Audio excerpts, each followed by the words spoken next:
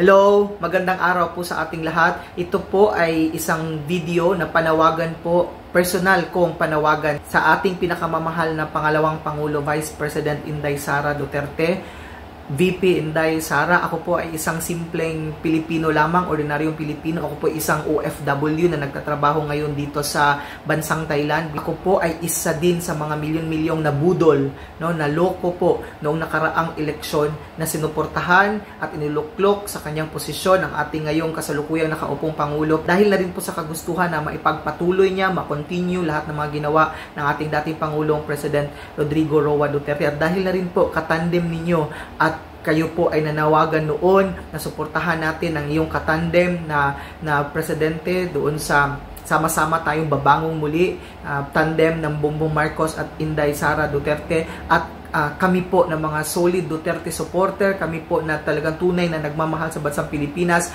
ay sumagot po sa panawagan ninyo na suportahan ang ngayon nakaupo na kahit sa kabila po ng mga issue noon na even your your father po si uh, former President Rodrigo Duterte sinabi na na weak na leader yan, na bangag na leader yan ay talagang hindi na namin yun pinansin dahil po alam namin na noon akala namin ay talagang malalagay sa mabubuting kamay ang ating bansang Pilipinas dahil kayo po, ikaw po ang pangalawang pangulo na katandem ni BBM Jr. Ngunit ngayon po, alam niyo po, uh, pangalawang pangulo Vice President Inday Sara Duterte na hindi na po talaga tama, hindi na po maganda ang nangyayari sa ating bansa ngayon. Ako po, based po sa aking sariling karanasan na nandito po sa ibang bansa, hindi po kami proud na Pilipino dahil alam po ng mga tao, alam po ng mga nasa ibang bansa kung ano nangyayari sa, sa Philippines ngayon. Marami po mga OFW na dismayado, marami mga OFW na talagang malungkot, na talagang galit na rin sa nangyayari ngayon sa Pilipinas na noon ay sobrang ganda ng imahe, sobrang ganda ng ginawa ng butihing Presidente PRRD Pangulong Duterte na talagang inayos niya ang Pilipinas pati, ka, pati lahat ng mga OFW na nasa iba't ibang mga bansa ay naramdaman ang pagbabago talaga noon ng panahon ni, Pang, ni Tatay Digong. Ngunit ngayon po binalahura, talagang binaboy po ng present na administrasyon at ngayon ang mga OFW na nasa iba-ibang mga bansa ay talagang dismayado at, at hindi na po proud kung ano yung nangyayari ngayon sa sa Philippines. VP Inday Sara Duterte, pangalawang pangulong Inday Sara Duterte. Ito po ay isang personal na panawagan po sa inyo. Hindi ko alam kung ito ay makakarating sa inyo. Parang ito po yung aking maliit na kontribusyon para po sa ating bansang Pilipinas na kahit ako ay nasa ibang bansa ay maiabot ko ang aking saluubin ngayon sa nangyayari dyan sa ating bansa ngayon na personal po na panawagan sa inyo ng Madam VP Inday Sara. Siguro kung ano man po yung mga bagay-bagay na dahilan na kung bakit para nagpipigil po kayo sa kung ano man ang nangyari, nangyayari ngayon. Kasi alam ko, nararamdaman po namin lahat na alam ninyo na hindi po yan maitatago sa inyo kung ano talaga ang tunay na sitwasyon ngayon ng Pilipinas. Madam, panahon na po, VP Inday Sara, we really need your help po ngayon, lalo na po ngayon sa panahon ngayon, hindi na po talaga kaya ng bansang Pilipinas na kami po lahat na sumuporta po sa inyo noong nakaraang eleksyon, mga solid Duterte po, na alam ko na sila din ay merong gustong sabihin, may mga gust- may mga saloobin din po yan sila.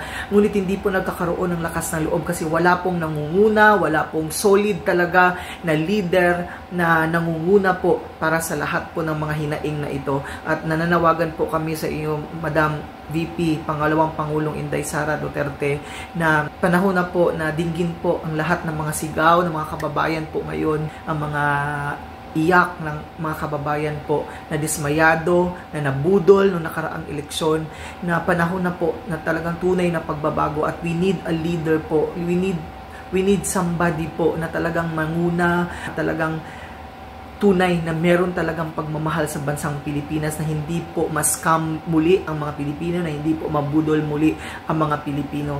Madam VP Inday, pangalawang Pangulong Inday Sara Duterte, naghihintay po ang karamihan. Ang iba nananahimik lang pero naghihintay lang po ng tamang pagkakataon, naghihintay lang po ng tamang panahon and they also need a leader po na manguna, mag-push po sa lahat ng mga ginagawang ito, sa lahat ng mga rally, sa lahat ng mga panawagan po, kaliwat kanan ng mga mga panawagan panawagan po, kailangan lang po talaga ng somebody to lead us, somebody to lead the flock, somebody na talagang manguna po at magkaroon ng lakas because there is really power in number. At ito pong lahat ng mga sumuporta sa inyo, lahat po ng talagang solid Duterte supporters ay talagang nasa likod po ninyo.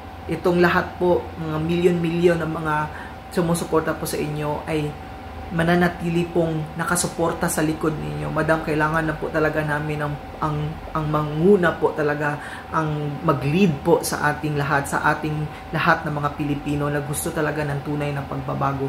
We really need your help uh, ah, VP Inday Sara. Sobra-sobra na po ang ginawa ng administrasyon na ito. Ngayon, inuuna nilang usigin, inuuna nilang iniipit ngayon ang KOJC, si Pastor Apollo Sikibuloy kasi alam nila na ito ang talagang una, number one supporter ng mga Duterte, ang Kingdom of Jesus Christ, na ang SMNI, na talagang sobra-sobra ang solid Duterte. At alam ninyo po sa sarili ninyo na gusto talaga nila kayong mawala completely, totally dyan sa national government. Mga Duterte ay ayaw talaga nilang magkaroon ng chance na makaupo dyan sa national government kasi po talagang mapapatalsik silang lahat kapag Duterte po ang nandyan sa national government. Kaya yan po ang kinatatakutan nila at ngayon iniisa-isa po nila na alisin ang lahat ng balakid po. Ito po ay isang personal na panawagan po, Madam Inday Sara Duterte, VP, Vice President, Pangalawang Pangulo, Inday Sara Duterte. Personal po na panawagan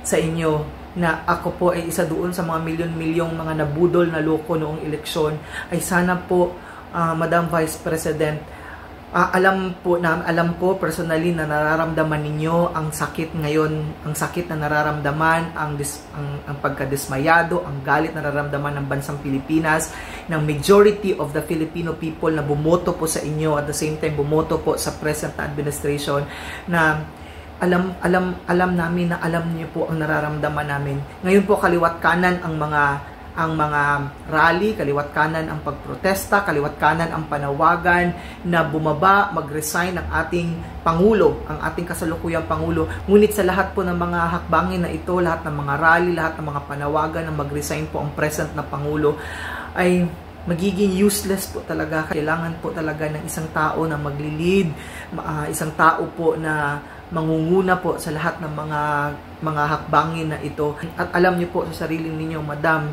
VP, pangalawang Pangulo Inday Sara Duterte, na kayo po ang kailangan po talaga. Kayo po ang kailangan namin ngayon na sobra-sobra na po ang ang pagmamaltrato na ginawa nila sa bansang Pilipinas. Alam niyo po, ramdam na ramdam na po namin talaga at talagang uh, sukang-suka na po kami sa lahat ng mga pinagagawa ngayon ng present administration and we really need your help, Madam Inday Sara Duterte. VP Inday Sara, binoto po namin kayo bilang Vice President dahil ang, ang trust po talaga namin, ang tiwala namin sa mga Duterte ay sobra-sobra. Dismayado kami noon na hindi po kayo tumakbong Pangulo. Pero nung malaman namin na mag-Vice President po kayo, sobra ang suporta namin na ginawa.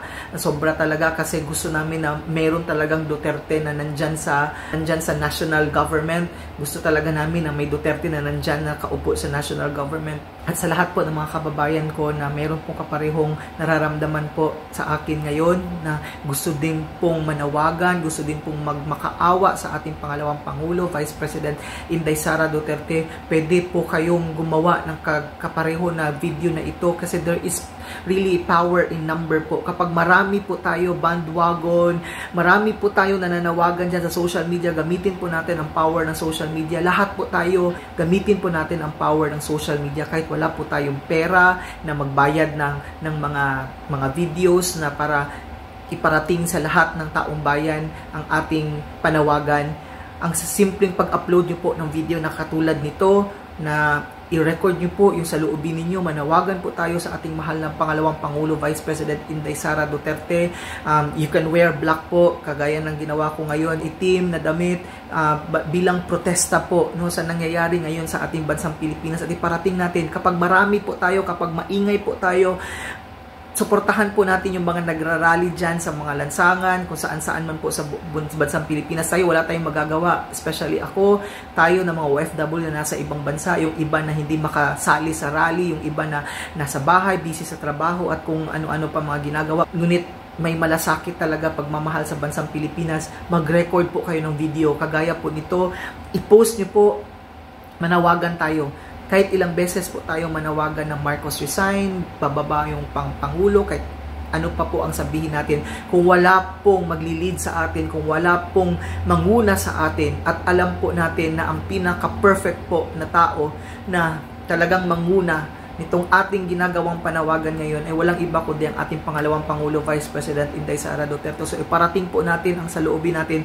kasi kapag makita po ng ating butihing Vice President na sobrang dami po tayo na mananawagan na tulungan po talaga tayo ng ating Vice President ay alam ko alam natin na maaantig ang puso, damdamin ng ating pangalawang Pangulo dahil ito ang iyak ng, ng Pilipinas ngayon, iyak ng ating mga kababayan, especially doon sa solid, solid Duterte supporters na nabudol, na scam during the last election. So yun po mga kababayan, mga kapwa ko Pilipino, um, wag po tayong matakot. No? Merong power ang social media, merong power ang numbers. Pag marami tayo, gamitin natin ang social media, ipakalat natin ang ating panawagan at hangad natin na maipaabot itong lahat ang mensahe natin suon sa ating pangalawang Pangulong Vice President Inday Sara Duterte. Kasi kung hindi ito matitigil ngayon, talaga alam natin kung saan ito pupunta. Itong lahat ng panggigipit ngayon ay talagang target nito ay ang mga Duterte. So Madam Inday Sara Duterte, Vice President, Pangalawang Pangulong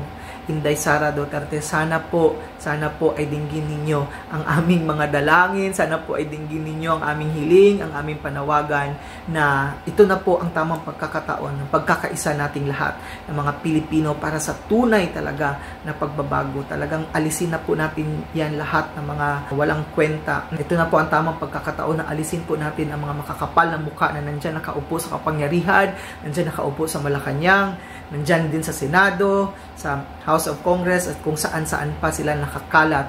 Madam VP Inday Sara, tulungan niyo po kami, tulungan niyo po ang Pilipinas, tulungan niyo po ang mga Pilipino. So yun lang po ang aking panawagan at sana kahit papaano ay makarating ang mensaheng ito doon sa ating mahal na pangalawang Pangulong Vice President Inday Sara Duterte. So maraming salamat po, paalam po sa ating lahat.